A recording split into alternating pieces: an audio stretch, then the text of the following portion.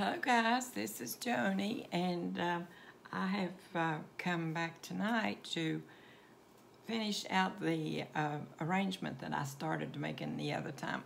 I made the one little bunny and I have the second bunny that I had with him last year and I wanted to go ahead and fix her in a box also so that I can use her, uh, both of them in my living room. And um, I put him in the carrots, if you'll remember, and I'm going to put her in the green beans.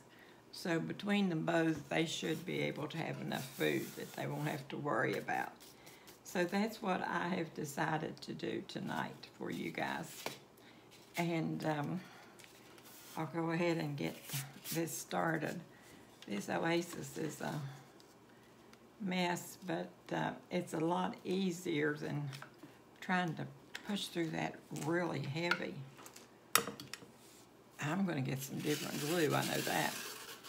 Um, foam that they have that is so hard you would need. I'm going to, when I use that from now on, I'm going to use my awl on it to push the holes instead of trying to just manually get them down in there. I don't know what in the world is wrong with that glue. It's absurd. It's so...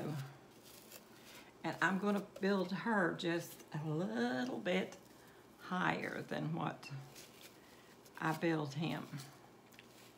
And um, I don't think that it will matter that this one is just a little bit crooked. I better see what she says about that. If I can get the glue to hold it exactly where I want her, she'll be fine. But um,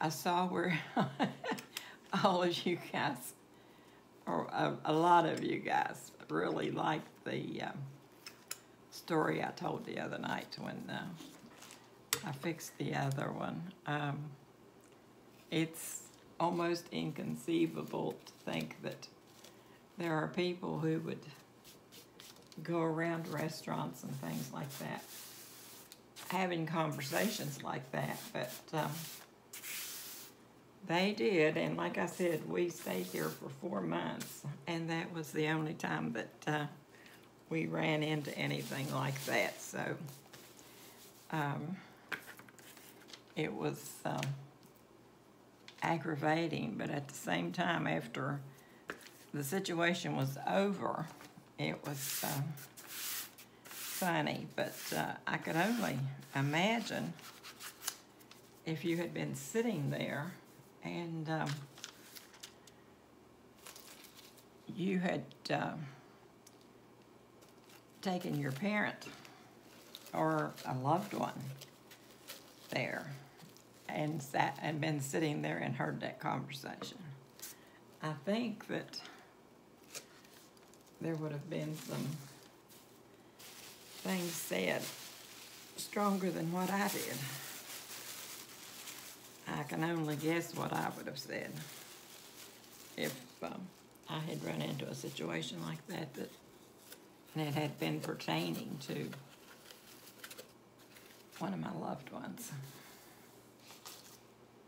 But um, it, it was hilarious. So that's what we took away from it was just how funny it was when we got away from it. Now, while we were there, believe me, it was not funny.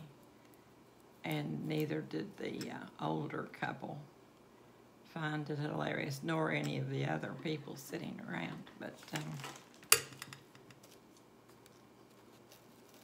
we just um,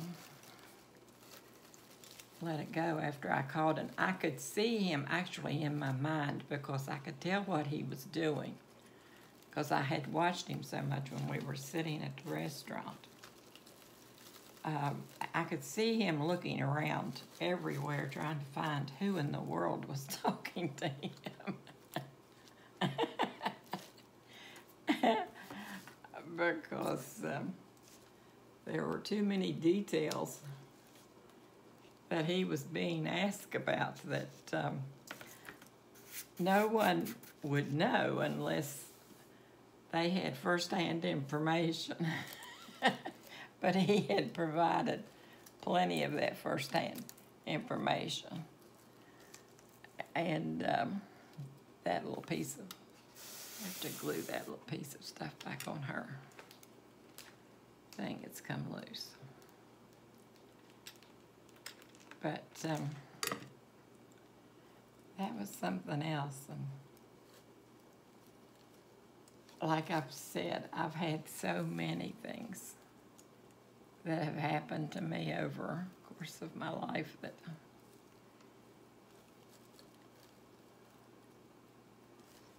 like that. And it's um, wild, to say the least. Now, she'll be okay as soon as I can get some greenery in there to back her up a little bit. And I went ahead and, and um, had the foresight to go ahead and take those wires, the little tiny wires, out of those things that uh, I could hardly get loose the other time. They were nasty. It's the smallest, smallest of wires I've ever seen, but uh, I have glue. Looks like it's growing out the ends of my fingernails. Um, but it is strong. I do mean strong.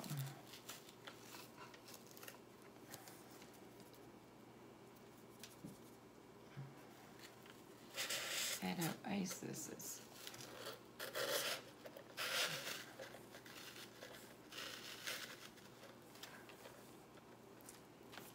There we go.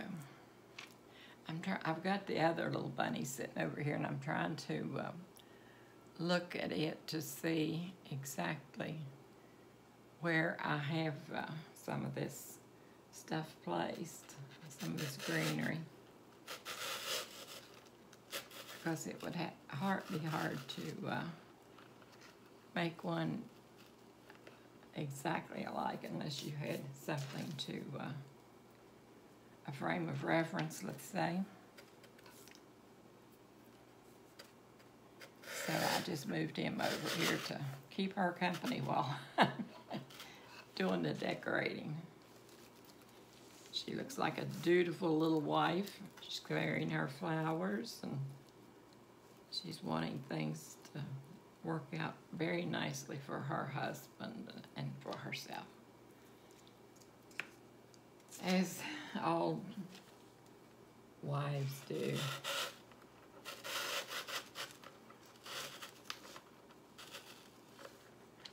one of the ladies wrote to me, I got tickled about it. She said, I really don't think that you had enough greenery on your, um, let's see, on your right side. and I had been looking at it prior to her writing, and I had thought that I didn't have enough. I knew that I had left out a piece that I could see quite clearly on the uh, left side. And I wrote her back and I said, that is really funny. I said, I was just sitting here uh, looking at the video of that. And I saw that I thought that um, I needed a piece of greenery there on the left side. and I said, then you write me and tell me that I, I need a piece on the, uh, I thought it should go on the left. I said, and you thought I needed it on the right. And uh, I, I just put ha ha, you know, and and was laughing about it because um, we all see things so differently. It's uh, funny when you think about it, how differently uh, we can see things. And uh, that's like they say we are with car accidents. There can be a car accident and there can be 10 or 12 people see that. And no two people will hardly ever see it the same way. Wild.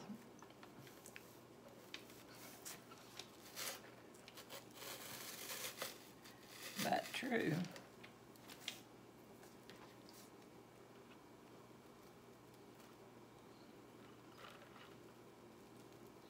I've had one car accident. And um, I had uh, gone to um, pick up my granddaughter at school. She'd just gotten out of um, uh, her school, and uh, my daughter was with me, and we went over to pick her up. And um, we had her in the car, and we were on our way to go shopping, as is usual. And um, we are going down the street, and I think, okay, now I know I'm going to have to go over down here when I get down to this light. So I was on a double lane highway with uh, a median in uh, the middle, and then there were the oncoming traffic was over oh, on the other side of the median. So um, I knew that I had to uh, get on the left in the left lane so that when I got down there I would be able to cross.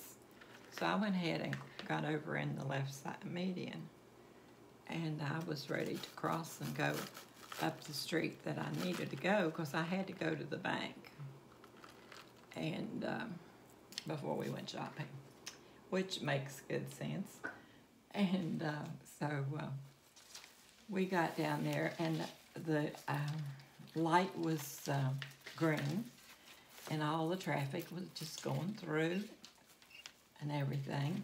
And uh, so I just uh, went right on through the light and uh, I crossed over into the left side like I um, normally would. And about that time, Tanya says, Mom, look out, look out, because she's in the back seat with my granddaughter. A car's going to hit you. And I said, what in the world? Because there, there, there was a red light holding the other people back so that they couldn't come forward. I was the one that had the green light. And um, she said, about that time, I heard the stuff start to hit him. And I thought, oh my goodness sakes of mercy. Now what? So I stopped the car and I got out. And I went out and I looked. And I had just gotten my car probably, oh, maybe 10 months or so before that. And um, I really liked it and everything. And uh, my front wheel was all torn up. She had hit me almost sideways as I had gone to get in the left lane. And I was sort of in a semi-diagonal position. She hit me in the side. And to do that, she had to run a red light because her light was red. But she was late to pick her daughter up, and her daughter was way down below where my daughter, granddaughter went to school. And I had already picked her up and had her in the car, and we were headed, like I said, to the bank to go so we could go shopping. But she still had not even picked her daughter up yet. So I am saying she was running late and she ran the red light so that she could get down there to pick her daughter up. And um, she did not want to call the police. And um, I said, I'm sorry, but we have to call the police. We can't have something like this happen and not call the police. And she said, well, we don't really have to. She said, I'll just go ahead and get my daughter. She said, I have to get her. I get, I have to get her picked up. And I said, well, I understand that, and I really am sorry about it. But uh, we have to uh, notify the police if there's been an accident and everything. And uh, she said, well, I would rather just go ahead. And I said, well, I'm sure that you would. And, and I would rather just go ahead and forget about this too. I said, but my car is too torn up because it was really, the um, like I said, the wheel was all knocked in and and the front front fender was all dented and it was a mess. And uh, she was in this very old, old um, car that looked like a, um, oh, what do you call them? Uh, I forget what they call them. They're sort of a, a not a four-wheeler, a, um, something like um, these that are heavy-duty things that you can drive in snow and all this stuff. And I forget the names of them. And uh, it was rusted and it had dents in it. I don't know how many. And uh, she said, um, well, I would love to just go ahead and get my uh, daughter. And I said, well, I said, I'm sure that, uh, so uh, my daughter had already called the police. And um, they were on their way. So um, I said, well, I'm sure that um, they will uh, take care of your daughter until you can get there. They're not going to let anything happen to her. I said, I know that I would be worried too if uh, I hadn't picked up my granddaughter yet. And uh, she said, um, well, she said, I just have to get up there and there's no way around it. And uh, so about that time, the policeman came. And bless your heart, he said, uh, who all was in, involved in the accident? And I said, well, I said, I have my granddaughter and my daughter in my car. And I said, um, the lady is driving alone. I said, she's alone in her car. And um, I said, uh, she must have run a red light because I had the green light and the traffic behind me.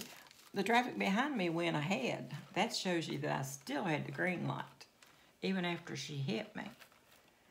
And um, she said, oh no, she said, um, I, I didn't uh, run a red light. She said, um, you pulled in front of me. Well, the only way I could have pulled in front of her was that she would be coming out from um, the light that was turned red on her. And uh, she said, my light was green, and I had a green light to go. And um, by this time, we had pulled over. He had us pull over to a lot that was, oh, just across the street from where the accident was. And he was an older man.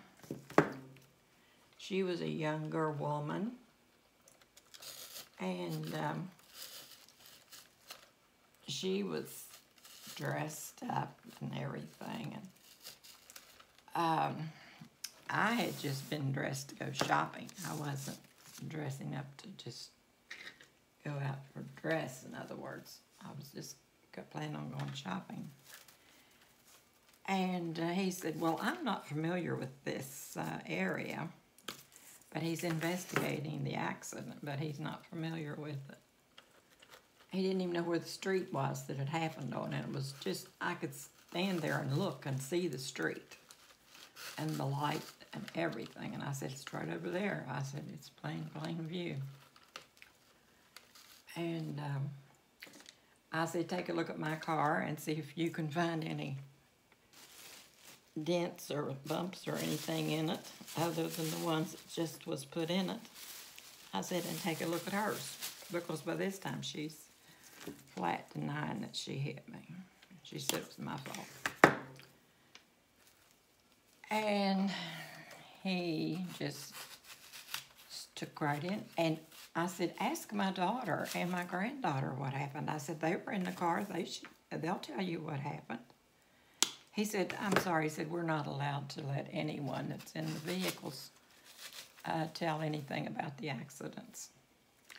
Well, that just blew my mind because maybe that's a new rule or something, but I sure, well, I hadn't been in any accidents, so I would have no reason to know uh, what was going on.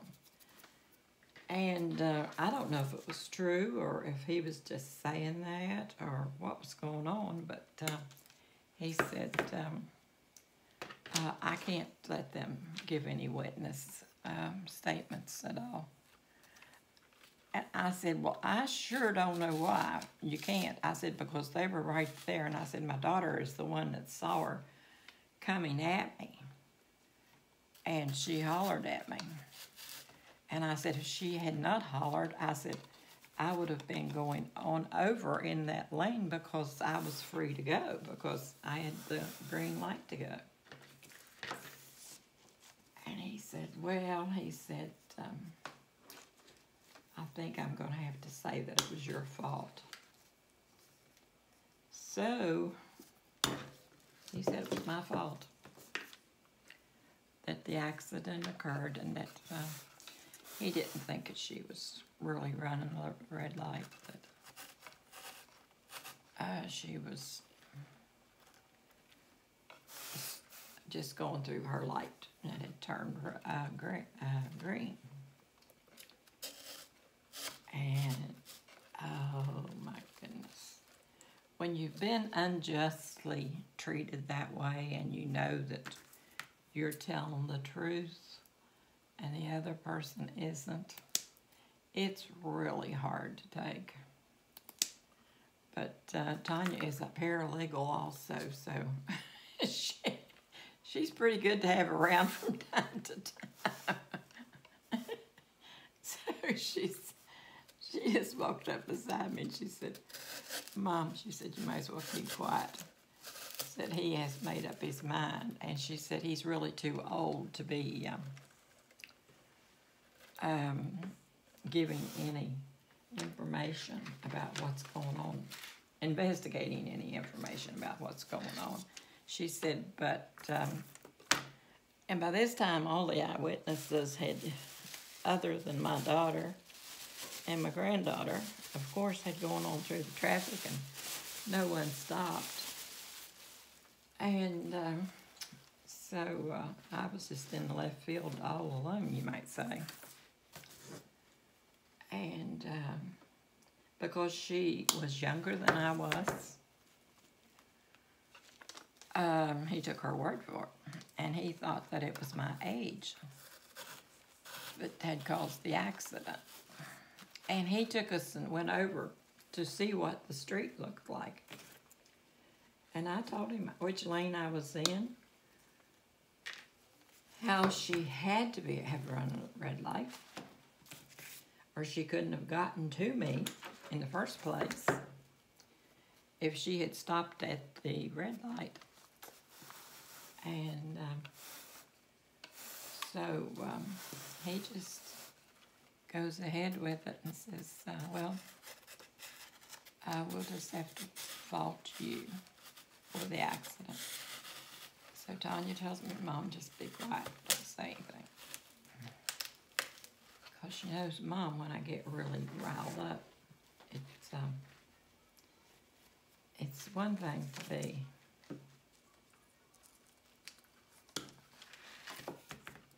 unjustly treated and something else just to have somebody you do something and you get caught for it. If it had been my fault, I would have said it's my fault. I'm sorry. I'm really sorry, but I didn't see or her. But it wasn't my fault. And uh, so it was a mess, but she never did. She, Tanya said she is thanking the good Lord that she is getting out of this as easy as she is, and she will not cause you a drop of trouble as far, far as uh, filing charges or anything. And I held my breath. I mean, I held my breath for that time because um, um, she could have um, sued me because of his judgment. And then I would have been in a world of trouble. So, uh, but I think she knew that she had escaped once and she had better just stay on her side of the fence from then on and keep quiet about it. Because she knew how upset I was that I was being falsely accused. I can't stand to be falsely accused of something. And if I do it, somebody says, well, so and so, it something happened. Then I'll first to admit it, but nope, not when I'm being falsely accused. But that was my one in about 60 years of driving. That was my one accident. And um, you might know. oh dear. Person can get in a lot of messes for people not telling the truth.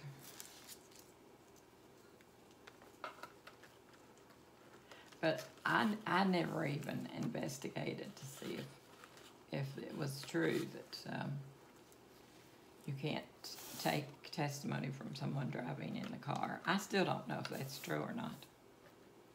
Because I just wanted out of it, away from it, and away from her because I didn't want to have anything else to do with her. Because to me, she proved what she was like by um, telling what she did. So, okay, here is my bunny. He's, he needs to go down, I think, just a little bit. I think maybe I need to put some greenery right there. Maybe that'll help him. Mm, maybe a little bit of purple. I am really into purple and pink this summer. This summer. This spring. I love it. I think it is so pretty.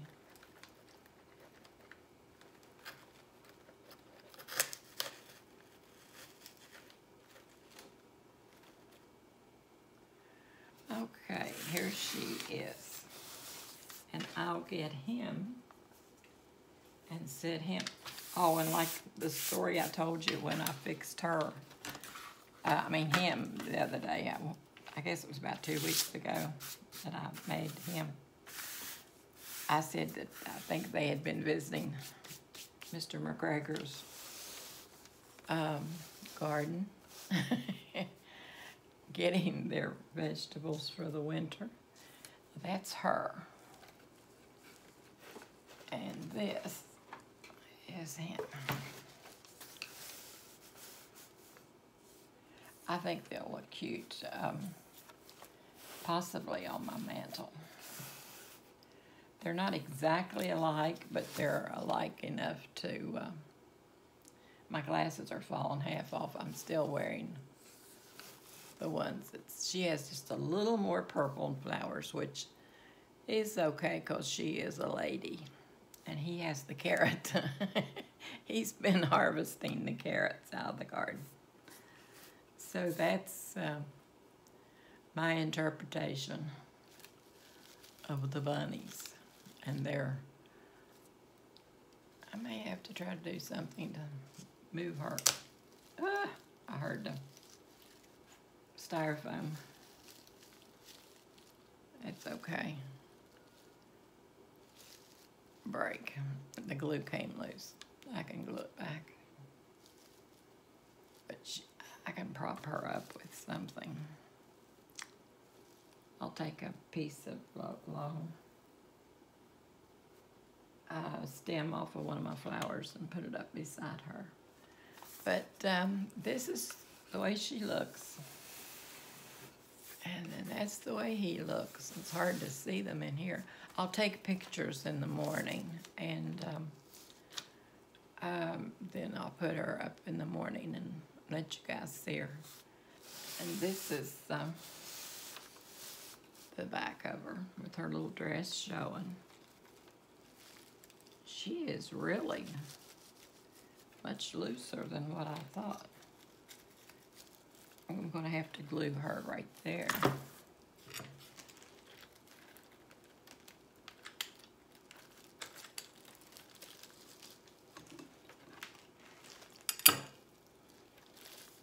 It must have been what I heard pop. Hold her for just a minute until she dries some. I've been trying my best to get you guys answered, but when uh, I'm answering with my glasses like they are, it is so hard. I, I have to use also a magnifying glass. Now, if you can imagine sitting with your iPad, because um, I don't use my Mac uh, computer, I use uh, the um, iPad. And I use my iPad and uh, my glasses and a um, magnifying glass. So it takes me a while to get through with all that. And then it's hard on my vision too. Because if you all remember, I was having trouble before when I was having to use my glasses backward to uh, read before I, when I had my surgery. I need another bunch of little greenery in there. But just a short piece, not a long piece. But um, hoping if the winds ever died out and the viruses in Virginia, they say there's so many viruses in Virginia that I, I'm almost afraid to go up there because um, I don't need to get a virus on top of everything else I've got going on.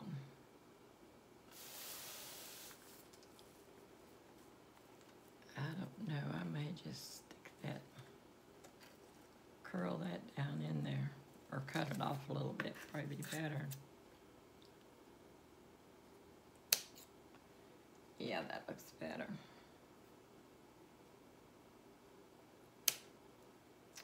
There we go.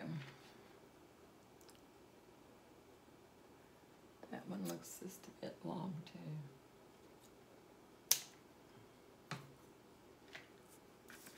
Okay. All right. We'll call this one finished. She looks like she's standing up straighter now too. So uh, uh, I will answer you guys just as soon as I possibly can and uh, know that I'm trying its best and I'll look at you and you'll see how crooked my glasses are. I don't have any makeup on, so you'll have to excuse the way I look. But um, I'll talk with you guys later, and um, I want to thank you for all my new subscribers. I'm still getting a lot of new subscribers, and uh, um, I hope I'm really happy. They all say that they're very happy with my channel, and um, they like to watch me craft and to make things. And that pleases me greatly because um, I like to make uh, crafts and to uh, make things that please other people and everything. And that's one of the parts of my nature, I guess, is I do like to please others.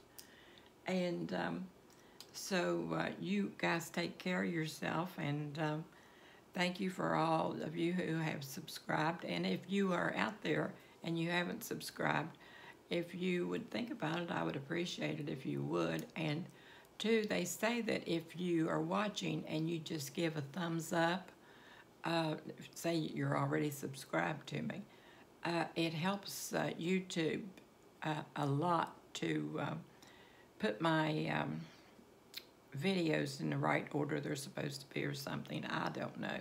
And it's as to how much they're played and everything. So if you would also give me a thumbs up and uh, share with me, uh, somebody if uh, you think someone else that you know would enjoy my channel. But um, you guys take care and remember that I do love you. And, uh, and like I say, most of all, remember that God loves you much, much, much more than what I do. And I love you a lot. So take care, and I'll talk with you later.